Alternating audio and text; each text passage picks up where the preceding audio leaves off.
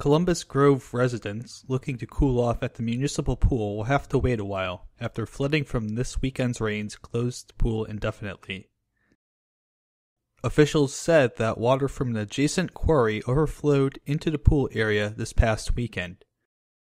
Several inches of rain fell across northwestern Ohio as a series of showers and thunderstorms moved through the area on Saturday and Sunday.